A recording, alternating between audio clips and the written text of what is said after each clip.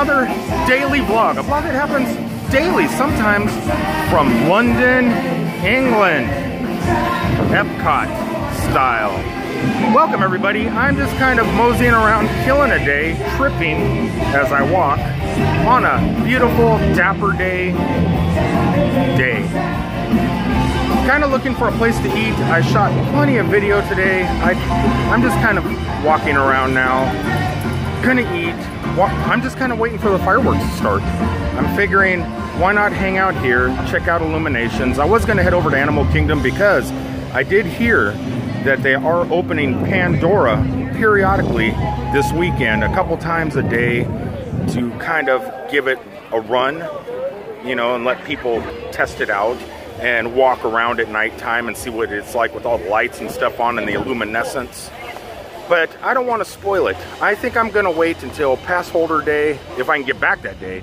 If not, I'm just going to have to wait until it's open. I don't want to go over there and head eight miles away for something that may not be open today. So I figured, why not? I know Epcot's open today, and it's a perfect day to be here because it is Dapper Day. The Flower and Garden Festival is still going on. There's plenty to eat and drink and enjoy. And I have until 9 o'clock tomorrow morning just to hang out.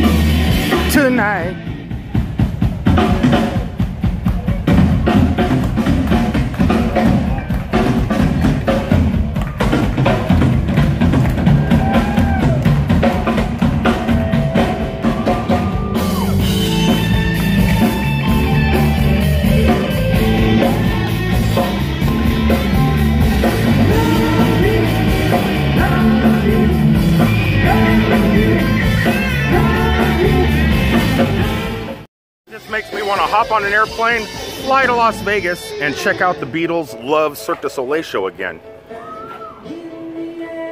Favorite song.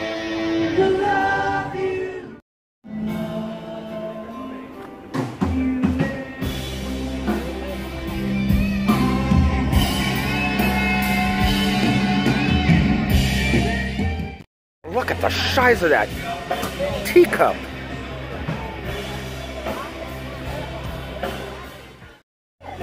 Still late in the afternoon and so many dapper people walking around. I am going to keep an eye out for the next dapper day. I mean, I got the top hat. I just need to get the clothing, the proper clothing to be extremely dapper. I thought they were dapper for a second, but they're not as dapper as these guys. They look almost dapper because they're wearing ears. That is one sane looking river. Get it? That's supposed to be the River Seine.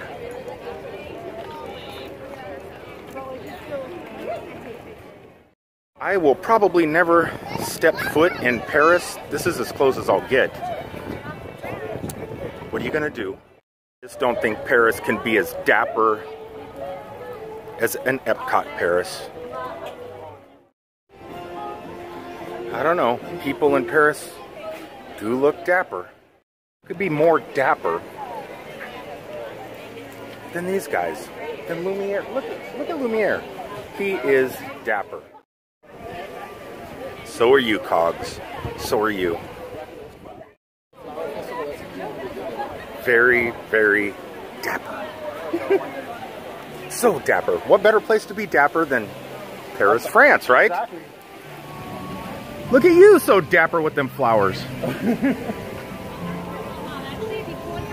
there is a very dapper person.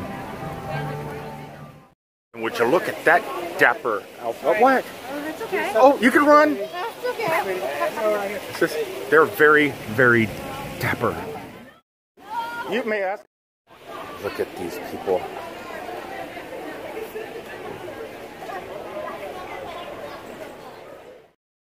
One of my bucket list ideas that I want to do is I want to go to Disneyland Paris.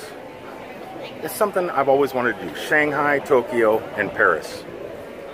But, I mean, here at Walt Disney World, we have Paris. So I'm kind of like at Disneyland Paris without having to have my passport ready.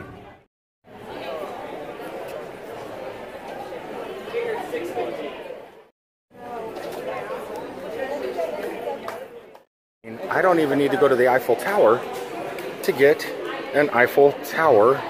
Check this out. This is pretty awesome. If I could figure it out. I think this one's broke. No, it's not. Check that out. You can come here and get pretty much everything that you would get from the tourist areas in Paris, France anyway. Except, I bet, you know what? I bet you could pick up a Lumiere in Paris. Look at the theming of this place. Look at that gentleman. That right there wins the most dapper of all dapperness. You, you beat Dapper Dan. Look at that. You're not going to drop the ice cream on your shirt, are you? I've had two Mickey bars, one in a white suit, so I'm really risking it. And I poured Coke on my lap. Oh, was that what? You are very dapper. Thank you. Gotta love Dapper Day. Ariel is very dap. You're looking at me. Check it out. We got a. Can, you mind being on video? Look at. Oh no, just look. Ariel's dapper, and I've seen somebody in your group. Who was it that was? I was trying to chase you guys down. Had uh, Twilight Zone dapper. Oh. That's her. That is amazing. That's very dapper. Amazing. A Twilight Zone Tower of Terror dapperness.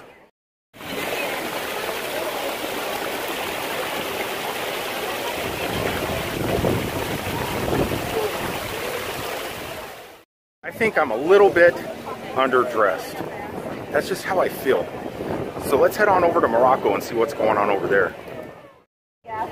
Dapper days are. We saw you somewhere else. I'm like, So much dapper. Are they going to have a, a? I didn't dress up this year because I'm at work right now. Are they going to have a group picture later, like they do at the Magic Kingdom? 6:30 at the fountain or something going on down. There was like a big event. I'm not sure exactly where it's at. They're doing this year is Dapper Day is lasting two days. The first day was at the Magic Kingdom. Second day is here at Epcot. You would think that they would have it over at MGM Studios or Hollywood Studios because of the theming and the way it is over there.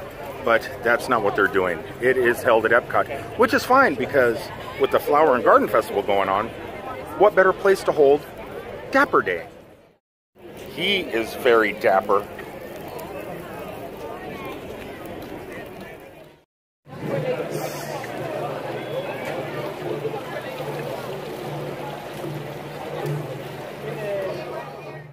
Many times I come to Morocco looking for that lamp. You know, the one that you rub and a genie pops out of. I've never been able to find one, but I keep coming back because I figure one day, it only takes one day to find the magic lamp. Sometimes you have to come down the back alleys. You may not find a lamp, but you will find more dapper people, right? What? Oh, dang it. I thought I seen one.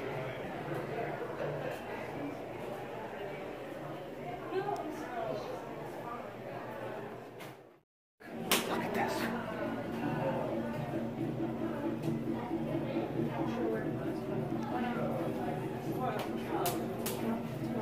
No luck.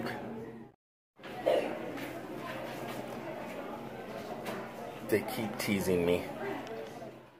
I'd be rubbing one of those one day and have Barbara Eden pop out in her little pink, hot pink puff of smoke. Fingers crossed.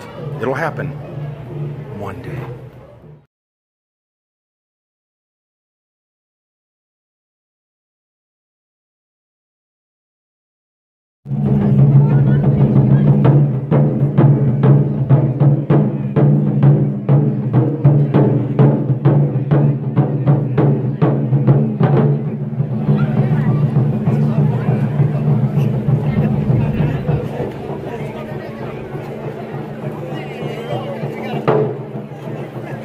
They're like the Blue Man Group, but only female.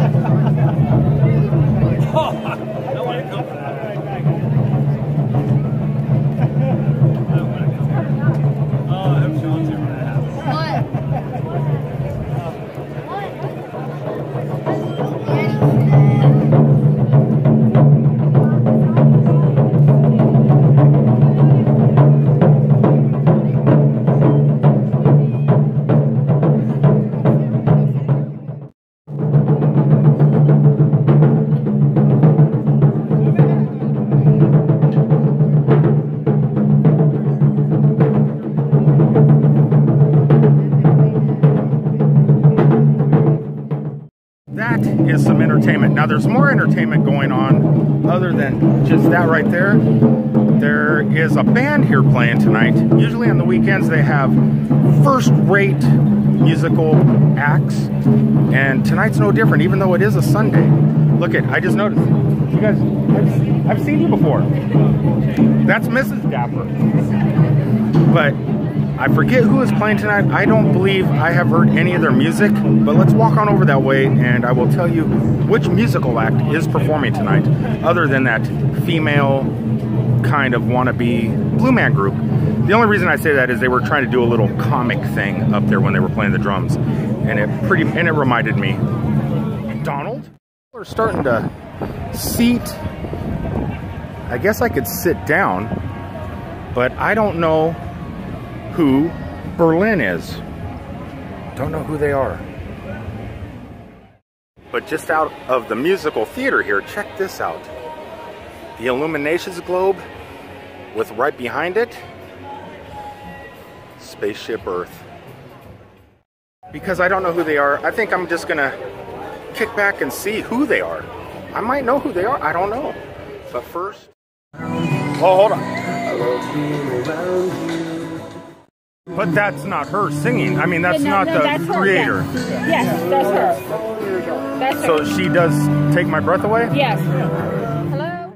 All right, so the people we're going to be seeing sings Welcome Take My to Breath the Away America from Gardens Theater music fans. Top Gun. In just 10 minutes. And they'll be here in 10 minutes. Cox's Garden Rocks concert series will proudly present Berlin, Berlin. featuring Terri Nunn. This legendary band is famous They're for legendary. unforgettable hit songs like Take My Breath Away and The Metro.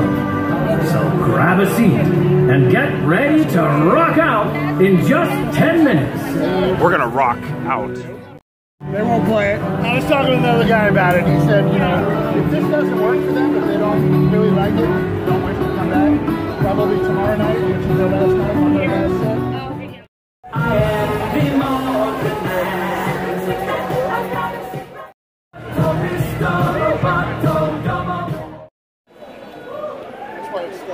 Ladies and gentlemen, will you please welcome Berlin?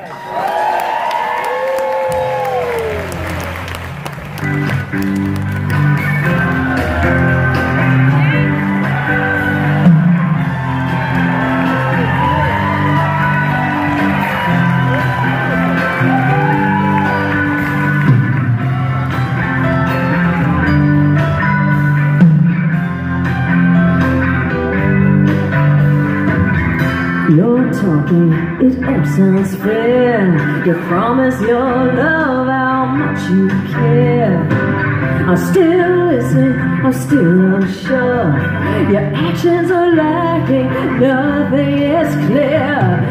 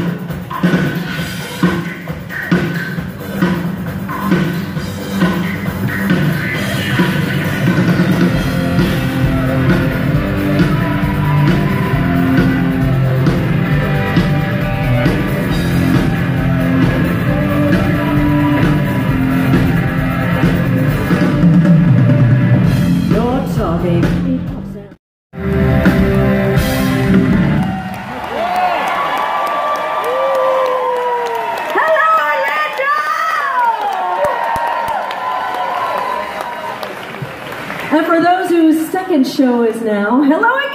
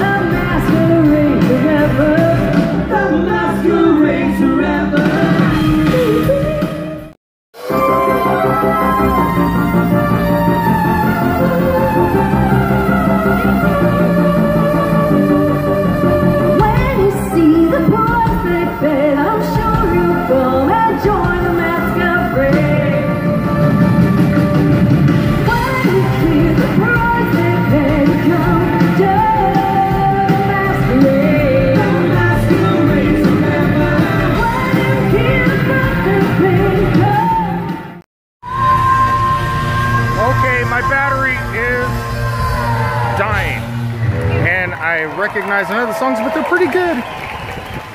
They're not bad, right? They're pretty good. They're good. They sound a lot like the Pretenders, but I just don't recognize any of their music. You know how life always kicks you in the butt when you think you're. No, life's You know never kicked me in the butt. It was just the other last weekend actually. My daughter's in soccer Oh. tournament. I just know that my battery has kicked me in the butt. I have to head back out to the truck and replace my battery. Do that Sorry. So while I was shooting video of the show, I set up my 360 degree camera on my tripod and I recorded about two minutes of video. And when I did, when I was all finished, I went ahead and I went to unscrew the little ball, which the camera looks like the Epcot globe actually. It fell, hit the ground, rolled all the way down the sidewalk, and cracked the plastic lens. I thought it was going to end up worse than what it was. I thought it was really going to be broken, but not too much damage. It was the back lens. So if you watch any of my 360 degree videos in VR or anything like that, just don't look behind you because there'll be scratches on the plastic screen. Check that out. Stay away from him. He's a tramp. I was gonna go back and replace the camera on my gimbal, or the, the camera, not the camera, the battery on my gimbal, but I think I'm just gonna go handheld for the night because I still have not eaten. And I think I'm in the perfect country to get some food. Boy, I cannot stabilize without my stabilizer, can I? Whoa, you're bringing me stuff already. Incredible. Look at this. So, I am eating at, in Italy, not real Italy, Italy, Epcot, Italy. I'm eating here in France. Is this, this isn't France, Is Italy. I get confused. But the menu is actually not ridiculously priced. I'm actually thinking about going for the cheese stuffed raviolis with the ricotta. And while I'm waiting, they bring me this incredible bread platter and something I'm a little bit afraid to hold up, but I will. Some olives. Look at that. Mexican restaurants, all they give you is chips and salsa. You see, when I was at that show over there, you could unscrew the 360 degree camera. So it pretty much does look like Spaceship Earth. Actually, it kind of looks like an astronaut's helmet. But it dropped, went rolling down the hill, probably a good 30 to 40 yards. Look at this. Looks good. And what is this? Uh, La Rosa? La, Rosa. a La Rosa. Salute.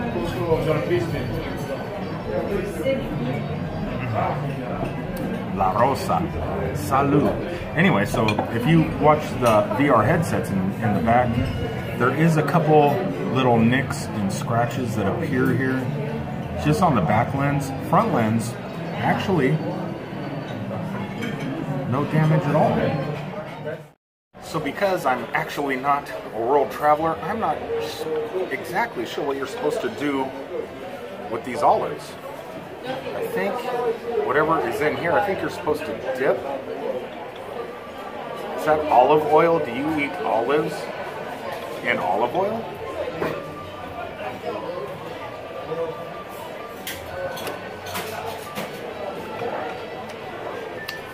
That is olive oil. Olives and olive oil.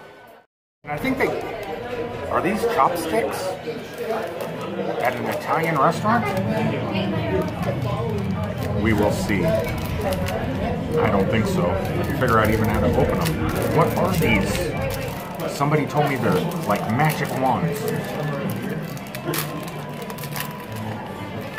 It's like an unboxing of the food. Hello. That was fast. I just ordered. Wow. Would you like some parmesan cheese on top? Please. Back. Food came already. I just look at. These are not chopsticks. They're like hard breadsticks. And check this out. We got cheese stuffed raviolis. She's bringing some parmesan. Oh, you're not gonna grind it?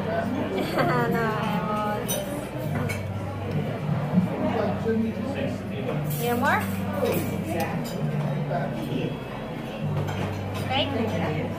More? Do you want to stop or? it's up to you.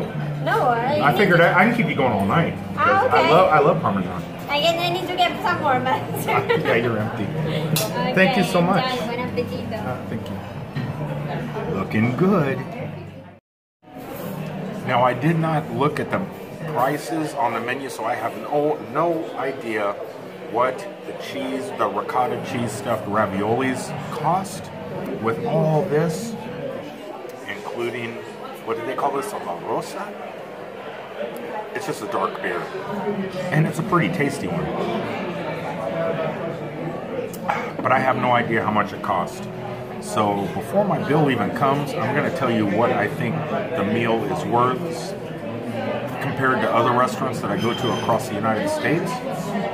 Now this place is pretty nice. It's not a low class restaurant. It's actually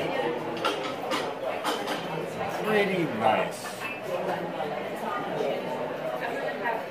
Though we're kind of near the back porch area, which these people out here are sitting. So the atmosphere alone is pretty awesome. The location, the theming, everything's good. So you have to add a little bit of value to that. Food wise, these raviolis.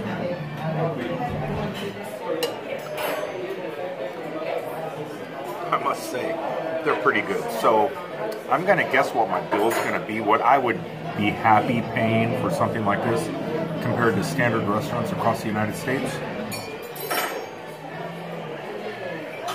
I'm gonna say 26 bucks.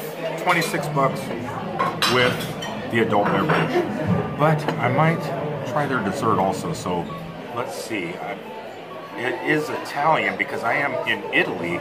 So I'm thinking tiramisu, isn't that Italian? I'm gonna order, I'm gonna look at the dessert menu and see what they have. Probably a little bit of tiramisu or a French mousse. Italy is in France, right? Hence, French mousse, chocolate mousse. Is chocolate mousse French? We'll find out. Okay, so now you can say hi to yourself. Say hi to yourself. So tomorrow, when this posts, you see yourself.